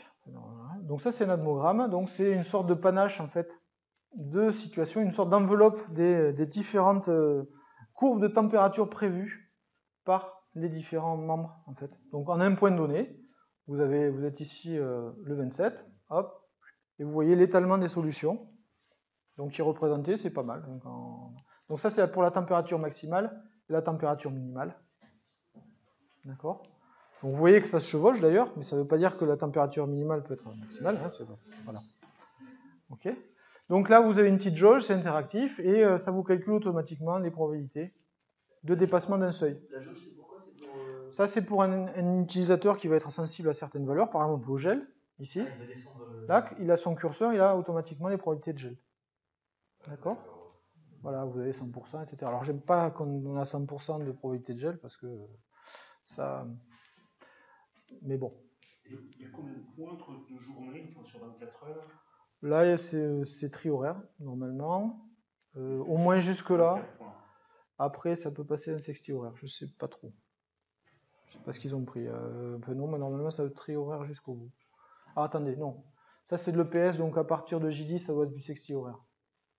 Euh, pardon. J'ai dit une connerie. Non, c'est des, oui, c'est des températures. J'ai dit une bêtise, parce c'est des températures minimales et maximales. Autant pour moi. Donc là, vous avez un point par jour. Alors, alors, dans ce cas-là, la, forme des. enfin, Elle est- la question, c'est d'où sortent ces, ces, ces, ces vagues très douces, quoi Est-ce qu'il ne faudrait pas que ce soit les escaliers? Oui. Euh, Je pense y a une petite- une petite courbe de Bézier en dessous, euh, quelque chose comme ça. Hein c'est esthétique, est-ce que C'est esthétique. Est-ce que c'est scientifique, quoi C'est-à-dire, si tu fais des escaliers, tu... si tu fais des escaliers, tu augmentes la probabilité de chevauchement. Je sais pas, c'est une question intéressante. Euh, c'est une question très intéressante. Quand tu vois ça, t'as l'impression qu'il y a 300 points sur le. Oui. Et c'est une a- bonne question, ouais. Et d'ailleurs, moi, je me suis fait laisser avoir, puisque oui, voilà. Donc là, c'est effectivement, il y en a qu'un. hein. Je pense que c'est plus joli. Après, euh, ça, c'est un produit commercial. Voilà, c'est plus joli. C'est un produit commercial. bas, les, les valeurs, c'est bien. euh, Non, mais je pense que la, question de, de la superposition par rapport au lissage si tu es au même point, même si tu vas pas au même endroit et que tu fais un escalier, tu vas superposer. Alors que si tu vas pas au même point avec une bézier, tu vas décaler. Dépend où ta marche d'escalier. Enfin, Ouais, ouais, mais tu as une probabilité plus faible avoir de superposition. Donc c'est moins joli. D'accord. Et après, c'est- par contre, c'est moins. Il y a des tas de bulles, hein. C'est- Est-ce c'est- qu'il y a un c'est- appli pour, pour, pour, pour pouvoir créer une propre euh, Une euh, euh, Parce doivent les, les, les donner une propriété. Donc vous, vous changez l'échelle là. Oui, il y a une API derrière. oui. Enfin, je sais pas exactement comment ça marche, mais euh, oui. Je sais pas si c'est du Java ou quelque chose comme ça, mais ça, c'est interactif. Ça, ça vous faites bouger, tac, tac, vous avez ça. D'accord? Voilà, donc ça c'est pas mal. Donc ça c'est en train d'être redéfini. Donc vous avez une autre chose là, qui est un admogramme. Donc toujours de, cet après-midi. Donc ça c'est Fred Kos qui le fait. Hop. Euh, ben en fait vous cliquez sur un point. Donc là vous avez, vous avez, je pense, c'est un quantile en fait. Et vous cliquez en un point. Et vous avez un atmogramme. Donc ça c'est des, euh, c'est des RR24. Donc là aussi ça a été lissé. D'accord vous avez des RR24 avec euh, le Q10, euh, le Q25 pardon, le Q75 et le Q50. Voilà, donc pour, pour différentes journées. Alors peut-être qu'il est calculé de manière glissante. Je, je ne sais pas. Voilà. Donc ça c'est pas c'est pas ça c'est quelque chose qui va être proposé, c'est- une maquette. Ok, qui est déjà bien avancée. Parce que là, sur le même graphique, tu, as, tu verras à la fois la- la- l'animation des masses dessous et l'animation. Oui, l'image peut être animée. Après, euh, après ça, ça reste, ça reste figé puisque c'est déjà une série temporelle. Oui, d'accord. oui, sûr. Non, non, mais c'est pas de. Voilà. Donc ça, c'est euh, complètement euh, de la maquette. Donc c'est euh, Philippe Dos, qui est, un graphiste talentueux, qui, a fait ça. Donc vous, avez, vous allez voir trois atmogrammes, en fait, trois versions. Qu'il est en train de faire, il essaie de les définir. Donc ici, vous avez, par rapport à un seuil, donc vous avez deux seuils, un seuil à 5,2 et un seuil à, à 19, euh, vir- euh, 12,9. Vous avez probabilité de dépassement. Voilà. Risque, pourcentage de valeur inférieure, pourcentage de valeur, supérieure. Donc, euh, bon, on sait que l'œil humain ne, ne sait pas trop euh, comparer les aires. Ça donne quand même une petite idée. hein. Vous avez ça, et puis vous avez les chiffres en dessous qui permettent de, faire ça, qui somment à 1 évidemment. Voilà. Donc vous avez pareil pour le, risque d'être inférieur à 5,2. Et vous avez, euh, là je sais pas trop ce que c'est. Parce que du coup, là, ce, ce- ce shading là, euh, c'est graphique. Voilà. Donc vous avez une autre version de ça. Donc là, si vous voulez, euh, allez-y. C'est de la consultance gratuite, on appelle ça. Ou de l'intelligence collective euh, du. La, la, la somme 1 euh. Je sais pas. Non mais c'est c'est- de rien. Je vais regarder la fin. Bonne soirée. Bonne soirée. Bonne soirée. C'est surtout, c'est surtout très perturbant quand quelqu'un comme moi qui ne sait pas comment c'est construit. Oui. Avoir une, valeur fixe à 12 degrés et avoir marqué à côté qu'il y a 95% de chances que ce soit plus et 4 seulement que ce soit plus. D'accord. Pourquoi ça serait 12,9 si Ah non, ça, c'est- ça c'est le. Ça, ça, c'est ça, c'est ça, c'est l'usager qui choisit. C'est-à-dire que là, en fait, c'est voilà, c'est quelqu'un qui a, bon, je sais pas moi, vous avez des gens, par exemple, vous avez des seuils comme euh, à partir de quand est-ce qu'on déclenche le chauffage? C'est-à-dire que euh, dès, dès que vous dépassez 18 degrés ou machin, il y a, les gens ne chauffent plus, par exemple. Des seuils pour les climatiseurs. Oui, c'est ça. Voilà. Après, la redondance de l'information, euh, de- c'est que si c'est 96%, c'est forcément 4%. Là, ça fait beaucoup de ronds pour en fait euh, deux fois la information. C'est une maquette. Non, mais c'est- intéressant. Oui, oui, je, je, je, je, je prends note. C'est- On imaginerait plutôt un bâton de 100% et tu mets, tu mets, un- tu mets- Oui. Tu mets un- une couleur foncée et une couleur claire, tu vois. euh, Oui. Ouais, moi, le juste, on fait le même, juste le bâton et on remplit, euh, bah, Voilà, on c'est 90%, et donc Oui. celui à côté, euh, si c'est moins, et on pourrait beaucoup plus facilement. Suivre. Ça s'appelle une Vermeer box. Ah, Verderbox. Voilà, D'accord. qui fait toujours 100%, tout le ça. à un niveau, tout le monde la probable. avec D'accord. la couleur, Et du coup, tu. Alors, c'est pas ça, non C'est pas tout à fait ça. Ça. Mais ça s'y rapproche. Ça s'y rapproche. Ouais. D'accord. Ah, c'est bien. Le, fait qu'il y ait double information, c'est extrêmement Ouais. perturbant. Oui. Parce que les gens, ils n'aiment pas avoir trop de, trop de points, trop d'indications. D'accord, non, non, mais euh, je, je- là, euh, là on, on écoute. euh, J'espère qu'on entendra bien. Ok. Donc, euh, non, mais non, euh, on entendra les questions ou non? Oui, oui, je pense. oui. Bon, alors, je, je note Verderbox. Et puis, euh, trop d'informations euh, sur un graphe, ça peut être perturbant. Merci. C'est pareil sur les couleurs aussi, c'est compliqué. Le rose et le, et le orange. Trop, euh, Les couleurs sont. Voilà. le rose, ça, moi je trouve que ça passe pas du tout. Oui. Ouais. Oui, C'est ça. Mais c'est joli au premier abord. Oui, c'est voilà, c'est. euh, Ouais, moi, j'ai vu fait beau. et- Ah, oui, oui, Ouais, ouais, je suis d'accord. Au début, je me dis, le soleil, C'est c'est un soleil, Ça c'est perd quoi la très chaud. Oui. Donc oui, donc ça, ça peut être confondu avec un soleil. C'est joli, mais voilà. C'est perturbant aussi. Pas. Et alors, euh, j'ai quand même une question, alors, c'est moi qui ne comprends pas bien, mais peut-être probabilité de 96%. Ah oui, c'est dans la journée, de dépasser 12. Oui, c'est c'est dans, Oui. c'est dans la journée. Oui. je- Alors, euh, Parce que tu vois, tu peux, t'as probabilité 100% de passer euh, 12,9. et alors c'est sur la, là, c'est sur la température maximale. Oui, oui, et Donc, là, c'est sur la minime. ouais. voilà. Donc c'est dans la journée, donc c'est normal. Mais c'est par contre, ça, c'est la journée du, euh, du 20 mars, hein, c'est ça par exemple? Oui. Donc sur la journée du 20 mars, on, met le- on définit le seuil de 10, euh, 12,9 degrés. Donc par exemple, là sur le 20 mars, c'est 73% de chance Oui. que ça soit au-dessus. Oui. Et les autres jours Le euh, c'est- toujours- Le seuil. Le seuil, ça c'est l'utilisateur, ou le client, ou le, etc. Ça c'est, ça c'est, c'est vous qui le faites. Mais ça sert à quoi ça Ça- C'est pour, pour les gens, pour, pour qu'ils voient en fait quelle est la chance de, de dépasser un seuil qui est intéressant pour eux. Vous avez pas mal de- d'activités Ah météo oui, sensibles. là, c'est c'est pour les professionnels. C'est pour les professionnels. D'accord. Oui, on peut imaginer Oui, les oui. lignes, par Oui, exemple, voilà. les, les, les Oui, la- la- de marche. de gel, De gel, etc., euh, oui. Pour mettre des arrosages. Oui. Sans vouloir changer de. de- Non, non, non, mais c'est- c'est- je suis venu pour ça hein, aussi. Hein. L'utilisateur, il va bouger son, le seuil Oui. et il va regarder comment bougent les probas. Oui, c'est ça. D'où l'intérêt quand même d'avoir quelque chose qui, dont il puisse percevoir le, le, L'utilisateur doit pouvoir voir quand il bouge Alors, je, pense que, je pense que l'utilisateur, lui, il connaît son seuil. Il va se dire 15 degrés.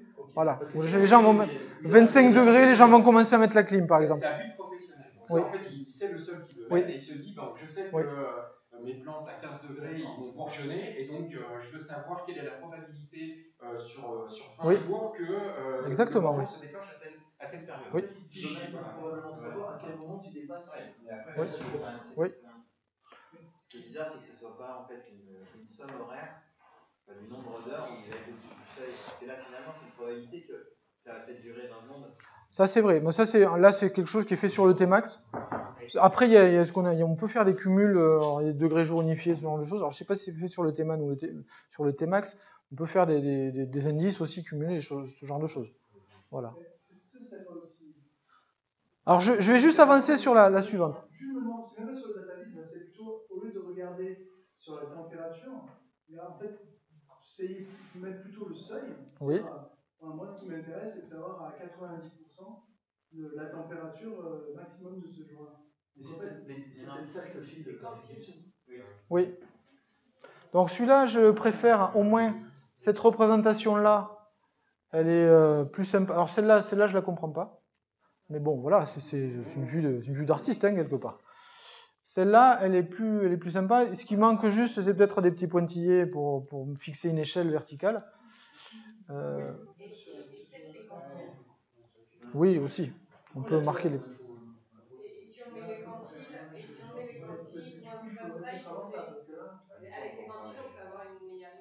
Oui. Voilà. Donc là, par contre, ce sont des couleurs qui, euh, qui donnent le pourcentage. Hein? Oui, oui. C'est, euh, C'est plus dur, surtout pour les daltoniens. hein, je- Bon, c'est facile, mais... Voilà. Et là, vous avez, vous avez aussi, là, je pense que c'est une... Je pense que quand la probabilité doit dépasser un certain seuil, je sais pas, c'est pour une alerte, en fait. Voilà. Il y a- vous avez un petit truc là- là-haut. 50%. Ouais. Zone d'action, c'est ça? Oui, peut-être. Oui, zone d'action. Je, je- là, je vois pas bien. Ok. Voilà. Celle-là est pas mal. Alors, euh, en fait, celle-là, j'aime bien. Il y a encore trop d'informations, il n'y a pas besoin de la Il n'y a pas besoin celle en bas. Oui. Celle du haut ressemble à des boîtes que Ouais. Oui. Mais c'est encore mieux si on met jusqu'à 4 euh, jusqu'à 100 dans chacune. Oui. plus comparées. D'accord. Donc, bon, c'est bien. euh, Celle-là, celle-là, est- celle-là est pas mal. Et pour les courbes, en fait, celle, celle, En face, c'est l'autre qui est- celle avec le nuage de dispersion, celle, celle d'avant. Ouais. Oui, celle-là, c'est mieux, oui. C'est celle-là, c'est la plus spécifique. oui. Parce que là, ça fait un petit peu, euh, euh, vous savez, pour les ongles, là. Oui. Un nuancier. Un nuancier, ouais. Voilà. Et après, j'ai une question pourquoi garder le- le- les couleurs comme ça, le dégradé de couleurs? Oui, dans ce Et cas-là, c'est pas différent. d'intérêt. En Oui. fait, pour que ce soit logique, si c'est vraiment un indice de, de Oui. probabilité, il faudrait mettre la même couleur. euh, Puis en en plus, toujours pour pinailler, mais euh, la plus foncée quand c'est plus bas, c'est plus faible, c'est c'est un peu trop. Oui, d'accord. Oui, plus foncé, quand c'est plus faible, c'est un peu troublant. D'accord. Alors là, les, les cou- les couleurs, les couleurs pourraient avoir un sens s'il y a un, un seuil, par exemple, de, de, de dangerosité, ou je sais pas, on met quelque chose de rouge si c'est en Oui. dessous d'un certain pourcentage. Mais sinon, c'est- il faut que ce soit de la même couleur. Oui. Il n'y a pas de raison de. de- enfin, ça donne, ça, D'accord. ça Il donne y a- l'information, parce qu'on a l'information sur la longueur de la barre et la couleur ne nous apporte rien. D'accord. Très bien. Très très bien. Ok. Hop. Euh, celle-là. Celle-là elle rejoint un petit peu ce que vous avez dit. Ouais. Là, il y y a- il y a la proba. Bon, elle est toujours dupliquée en haut et en bas. Mais euh, ça ressemble à une Verder box, hein, quelque part. Voilà, pour un seuil. Risque de valeur supérieure, et, et voilà. Voilà, donc là, ah, celle-là, oui. euh, donc c'est Franck Lavie qui, qui l'a faite, toujours. euh, voilà. Qui a... non, non, mais. Voilà, donc là, c'est ce que je vous ai rajouté ça, c'est comment distinguer la probabilité forte d'un événement de faible intensité de la probabilité faible d'un événement de forte densi- densité. C'est quand même pas la même chose. Hein Je- voilà. Donc, euh, donc l'idée qui était en fait, c'était de mettre euh, la proba avec des plus, donc forte probabilité, moyenne forte, et le, seuil, c'est-à-dire l'intensité de l'événement avec des couleurs. Ça, ça permet de faire des, choses avec un seul coup d'œil. Vous avez ça. Voilà, donc là, vous, en fait, euh, vous avez une série chronologique. Là, là aussi, ce sont des maquettes. hein. Euh, donc, par exemple, euh, congélation. Donc, ça, c'est pour des autoroutiers, par exemple, qui ont des- ce genre de choses. Donc, forte, forte probabilité d'avoir un événement d'intensité élevée. Voilà. Et euh, c'est pas si mal que ça. C'est vrai que hum, ça fait un peu chargé, mais bon, je, je vous laisse le. Bon, après, c'est peut-être la façon dont c'est bien. Oui, là j'ai mis beaucoup de choses sur le transparent. Moi, je trouve que sur un strip, c'est pas mal. Dans, dans les trucs de le, le risque en général, c'est qu'on forme ça sous forme d'un triangle, c'est-à-dire il y a les seuils de dangerosité et la probabilité. Oui. Et en fait, le plus dangereux, c'est celui qui est à la fois hautement probable et Oui. etc. Donc on a une sorte de gravé qui va de vert à rouge, mais de façon diagonale. D'accord. Ok, donc Et- là. Et, ça permet d'avoir une seule couleur qui modélise euh, le risque. enfin, Oui. le- le- Une seule couleur, le- d'accord. Du coup, tu vois, sur un strip, parce que visiblement, ils veulent des strips parce qu'ils en ont Oui. ça- combine deux dimensions. D'accord. Voilà, donc c'est. euh, Donc ça, c'est voilà, ce sont des choses en cours. Donc là, euh, là vous avez des, des problèmes aussi économiques derrière. C'est-à-dire que ouais, un utilisateur autoroutier, euh, s'il va pas saler alors qu'il aurait dû, carambolage. S'il sale alors que ça servait à rien, il a pelleté euh, 4 tonnes de sel euh, et avec des ouvriers, etc. Donc euh, c'est ça. Voilà, donc celle-là, vous avez euh, une synthèse là pour le cumul de neige, donc il n'y a pas de, pas de risque de neige. Et après pour le vent fort, pour quatre zones, donc euh, je sais pas où c'est. C'est quoi ça? C'est la... Je ne sais rien. Ça va faire la Corse. Donc euh, vous avez le vent fort pour zone 1, zone 2, zone 3, zone 4. Voilà, donc vous avez. euh, C'est une manière d'essayer de, de résumer l'information. Voilà. C'est- pas mal comme ça. Effectivement, le fait d'avoir rajouté tout ça un peu partout, c'est peut-être moi dans la construction du, du, du- du transparent qui n'est pas, qui est pas fait là. Le miroir. Oui. Qui n'est pas fait le bon, le bon boulot. Voilà.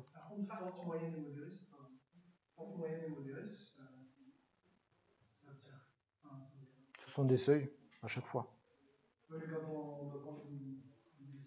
Alors, je- je pense que Ça reste. c'est tout le, charme de la prise de décision en conditions incertaines. C'est euh, des fois vous avez 60% que ça arrive et 40% que ça arrive pas. Qu'est-ce que vous faites? Voilà. Est-ce que vous réveillez la sécurité civile? Euh, Voilà, nous on a des obligations réglementaires, donc on a euh, en taux de fausse alerte et taux de non détection, on a des obligations assez fortes pour les événements euh, de vigilance, etc. Voilà. Je déborde pas mal, mais en même temps, vous posez des questions, donc euh, je vais me dépêcher. Allez hop. Donc ça, c'est juste pour vous dire que nous ne sommes pas seuls dans l'univers, hein, puisque tout le monde se pose un peu les mêmes questions. Ça, c'est les Allemands, Arceau. Voilà, qu'il faut un peu ce genre de choses. Les Anglais aussi, euh, les Suisses aussi, etc. Donc ils essaient de. Donc on a regardé un petit peu, donc je ne vais pas vous le présenter. Hop, voilà. Donc directement la conclusion toujours représenter l'incertitude, c'est toujours un problème ouvert. Euh, Après, on a d'autres problèmes, c'est-à-dire euh, représenter l'évolution temporelle ou agréger spatio-temporellement les données. C'est-à-dire que représenter un picto sur une carte qui représente toute la journée, lequel on met? S'il a plu, euh, voilà. Il a, pour l'instant, en fait, j'ai pas, je veux pas dire de conneries, mais on n'a pas senti une demande forte des usagers pour de l'incertitude. C'est de tous anus AG d'élite alors. Non, euh. mais, euh, je n'utilise pas l'application météo, mais j'utilise la chaîne météo. Euh, la chaîne météo. Non, non, non, non, non, non stop, je, ah, On est en. Oui, oui. Je, suis désolé, mais elle est, elle l'aspect plus simple. Mm. Moi, j'ai toujours reproché à Météo France, leur truc c'était trop compliqué. Enfin, c'est, j'ai jamais trouvé leur site web super efficace et on a la fiabilité. D'accord. Dans- D'entrée de jeu, on a la fiabilité sur, euh, sur 3-4 jours et, on- et pour moi, c'est clair. Fiabilité à 50%, bon, déjà, on sait que déjà, Alors- ça commence à déjà fortement diminuer. Ah, ça veut dire quoi une fois bien C'est bien sûr, mais, mais on, est, on est sur du grand public. Et on Ouais, se dit, ouais. euh, je, Ouais. je dois partir dans, dans 3 jours. Ah, la probabilité, les 30% qu'il qu'il fasse beau, bon, voilà. On est, on est sur des, sur des schémas basiques, on n'est pas dans l'entreprise. C'est un outil qu'on regarde euh, très régulièrement la météo. Oui. C'est- Donc on s'habitue en fait à, au- à ce que ça, veut Oui. dire euh, 50%. Voilà, c'est ça. Mais une fiabilité de 50%, est-ce que ça veut dire C'est assez curieux parce que est-ce que ça veut dire qu'on joue à pile ou face? C'est compliqué. Hein? Ou ou euh, c'est à pile ou face. Mais après, ah, c'est pas sûr que ça, ça soit. Mais je sais bien, mais, on est. mais, l'usager qui a l'habitude de regarder et d'avoir son retour d'expérience propre, Voilà. parce que ça a été euh, c'est 3 sur 5, c'est 4 sur 5, il se fait une idée de ce que ça veut dire. Exactement. 3 sur 5, c'est 2 Oui. sur 5. Je suis d'accord, parce qu'au bout de euh, quelques années d'utilisation, il, il se fait son idée sans savoir comment c'est construit. Bien de sûr. toute façon, on serait incapable de comprendre comment c'est construit. Ouais, Mais c'est on implicite en fait. C'est ouais. faux parce qu'on sait qu'au cours des années, le- cet indice est plus, il devrait être meilleur puisque les algorithmes s'améliorent. Ouais, ouais, C'est vrai. Mais, Oui, c'est quand on a un Je crois 50%, qu'à et 50%, voilà, on se dit, euh, ah bah finalement il a, il a fait moche, on se dit, bah il a 50%, bon bah Oui. pas une balle quoi. Mais, Oui. Mais voilà, on est basique euh, sur ce genre de choses. D'accord. En fait, Non, mais ce c'est intéressant. Ce qui est sympa, c'est que les sites météo nous montrent aussi les jours passés en disant là on était bon à 90%, et là on était toujours à peu près. Oui.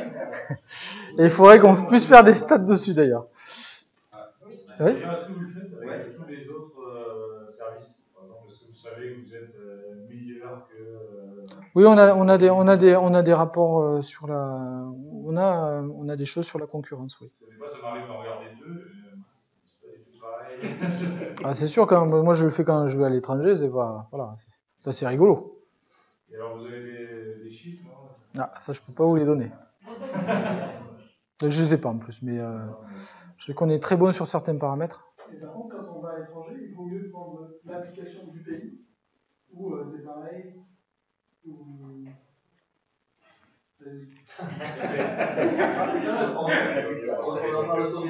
Ah non, mais je, je sais pas. Oui.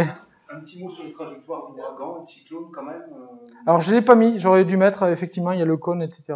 Et c'est un, peu comme les spaghettis, vous avez un certain nombre de choses qu'il faut arriver à synthétiser dans un cône, qui soit compréhensible par tout le monde sauf par euh, voilà.